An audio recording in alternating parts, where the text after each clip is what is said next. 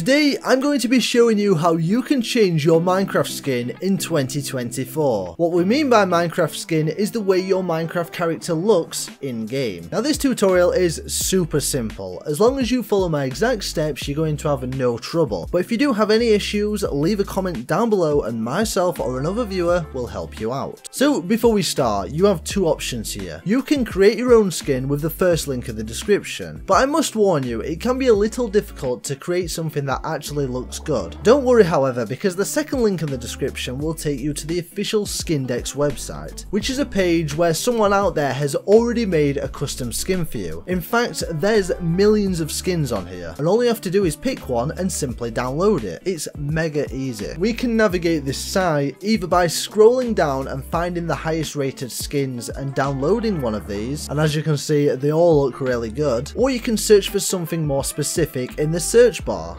Maybe Mario for example, and see all these Mario related skins pop up. Once you find a nice looking skin you want to call your own, all you have to do is click on the skin, and you should be able to see a full 3D view of this skin, along with a download button on the right hand side. While you're waiting for the download, consider dropping a like on the video and maybe leave a nice comment. You can now minimize your web browser and launch up Minecraft. Once on the launcher, click skins at the top. Now you can select one of these pre-made default skins here, or click add new skin. From here, give the skin a name, choose the player model, add any capes you'd like if you do have any, and click browse. From here, head to downloads and click the skin you've just downloaded. Then click save and use. Launch up Minecraft and head into a world. And if you go into third person, you should now see your skin in action within Minecraft. Please leave a like if this video helped you out, and have a lovely day. Goodbye.